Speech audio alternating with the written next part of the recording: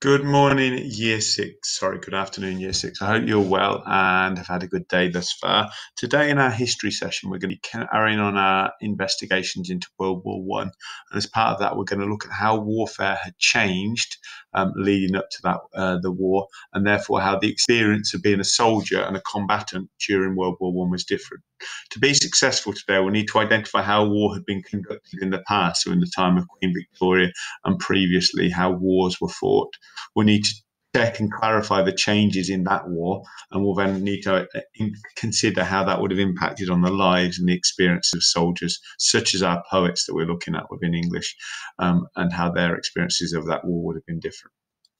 Um, the way that war developed, we'll look at in a minute, but we'll just first of all recall some of the information we know from our previous learning. Okay, so what I've got here some sentences. Now, each sentence has some some or some words. I'm going to try and move myself away just over here. The Battle of the Somme took place in northern somewhere and is often referred to as the bloodiest of all the campaigns fought during the which World War. Next one. The campaign was a combined effort between Britain and France and lasted for how many hundreds of days, starting in which month in 1916, ending in which month in 1916. At the end of the campaign, it was estimated that more than one million soldiers were wounded or killed on each on both sides. Um, so we've, we've touched on the idea of million. Which country lost 623,000 men, and which other country lost 500,000 men? What was uh, where were the French fight soldiers um, fighting um, that the uh, that they needed relief from? What was the name of the leader, the field marshal, um, who decided that he should continue to uh, get soldiers to run at the guns in spite of the fact they kept being shot as they went over the top?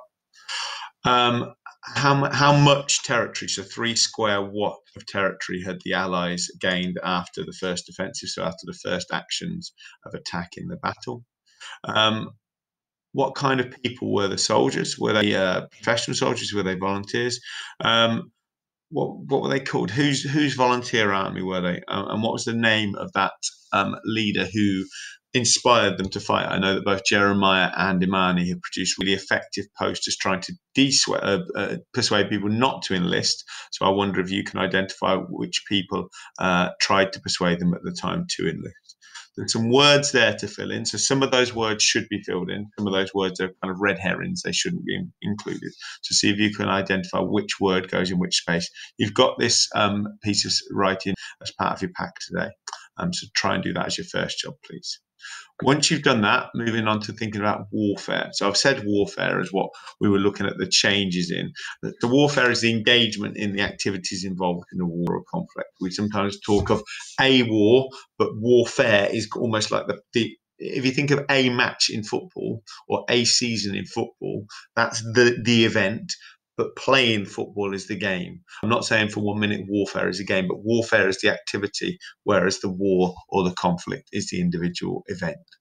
Um, uh, war we know about in terms of it's the idea of conflict. Fair is this idea of journey. Okay, so it comes from uh, Middle English, so so maybe five or six hundred years ago, and that development of that language shows how other places, not just other languages, not just Latin, still impact on our language today an image of those soldiers.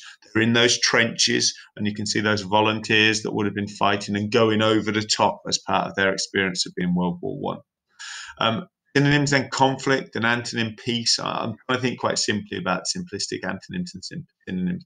Sometimes the simplest words that mean the same really flesh out for us what the actual core meaning of the languages.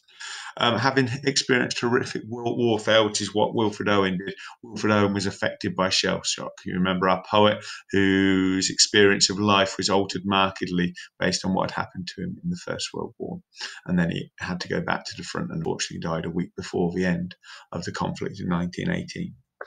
Okay, we'll see if this video works. I'm hoping it will. If it won't, don't worry, we've still got lots of information, but we are going to now push on to finding out about the different weapons that were used by soldiers in the First World War. Just try once more. Okay, unfortunately, the video is not working. Sorry about that. Now, this was just showing that some of the weaponry is quite weird, as the video title says.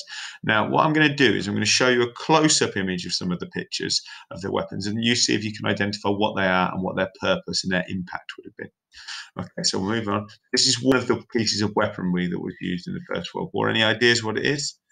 What do you think? Is it part of a part of a vehicle, or do you think it's part of armor that somebody would wear on their person? Any ideas, or is it a weapon itself? Let's have a look what's called a gauntlet dagger, okay, sometimes known as a punching dagger.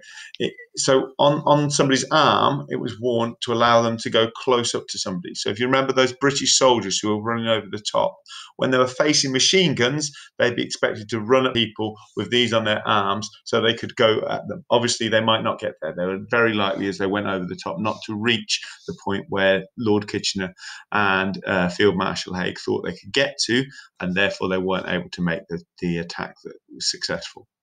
Next item, any ideas what this item of warfare or uh, uh, clothing would be?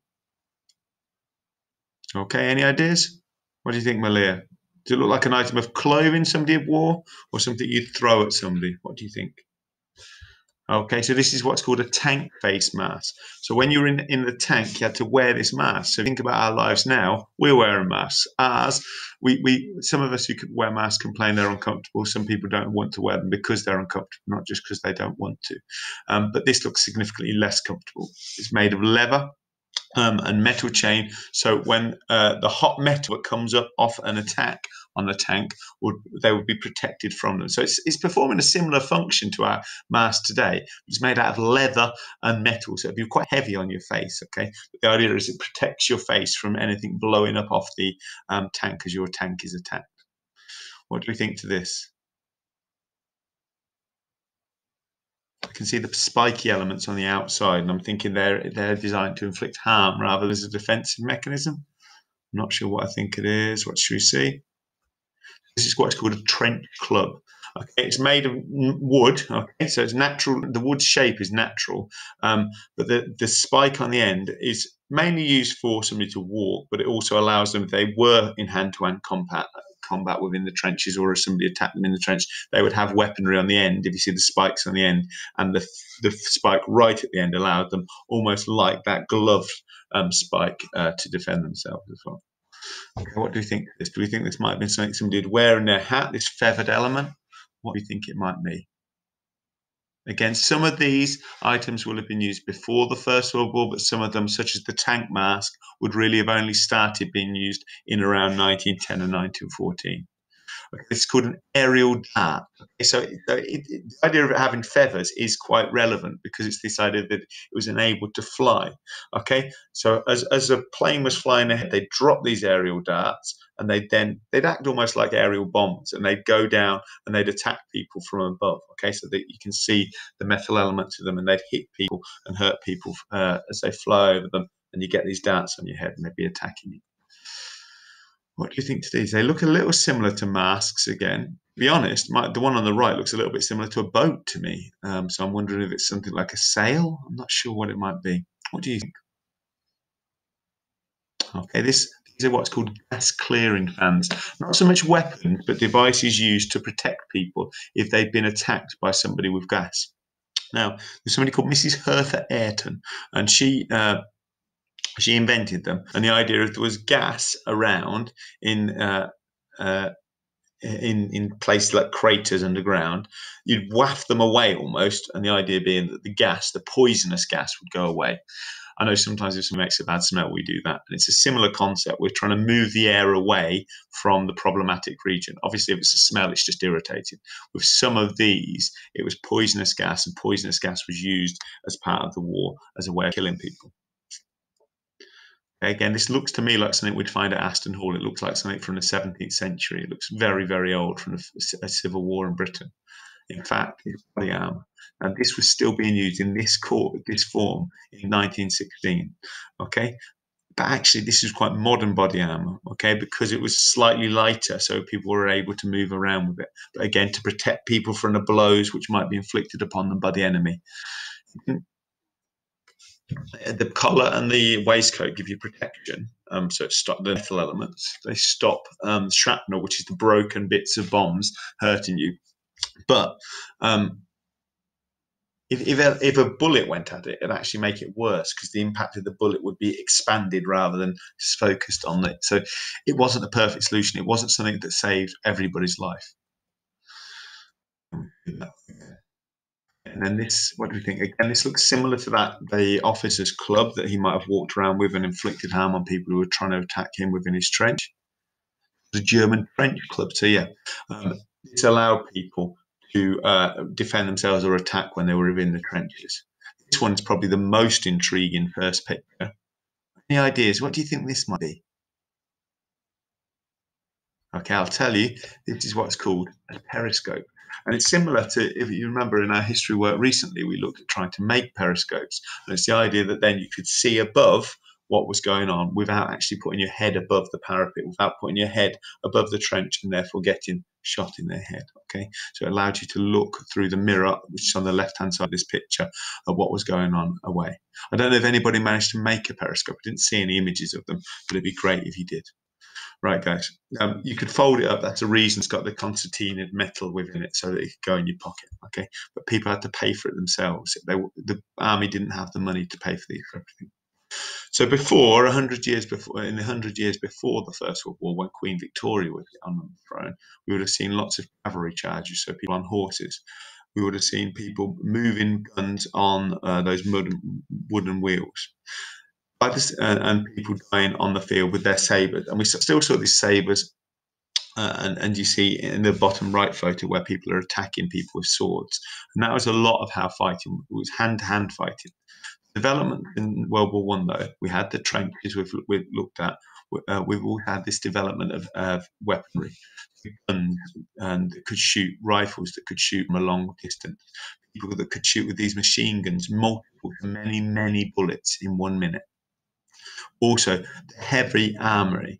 So the, the uh, these guns could shoot a long way, and they could shoot quite a lot of uh, these large uh, devices quite quickly. We've also got the advent, the first experience of tanks. So before then, people couldn't move across this muddy land unless they walked, and therefore they were quite vulnerable to being shot. Now, up to 10 people could fit in one of these tanks, and therefore they were protected to an extent. And also that meant they were enabled to move across muddy land, such as where it was in the Somme. And we've also, as we said, got those chemical weapons. So people started to launch chemicals and gas, and that caused people to die um, from breathing in the fumes that they experienced.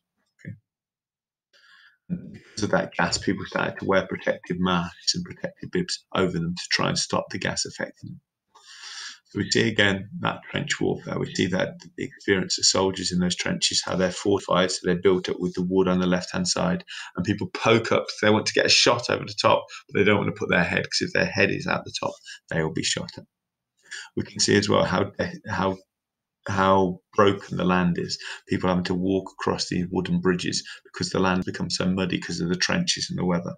We can see in the bottom right photo that people have these little coves, these little hollowed elements of their trenches that they dug out so that they could experience some kind of protection. However, obviously they'd probably be sharing that space with rats, with, with mud, with filth.